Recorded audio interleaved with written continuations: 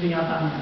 Nah ini memang akan akan ada eh, perbaikan di masa mendatang ya supaya orang tidak eh, apa, salah paham. Eh, tetapi yang tadi all clear itu harus ada, all clear atau cancellation harus ada, karena eh, itu penting untuk eh, untuk masyarakat yang yang tadi yang kembali ke daerah daerah yang terkena tsunami atau yang tidak terkena tsunami. Perbaikan yang kedua itu adalah harusnya peringatan itu lebih spesifik. Ke mana ini?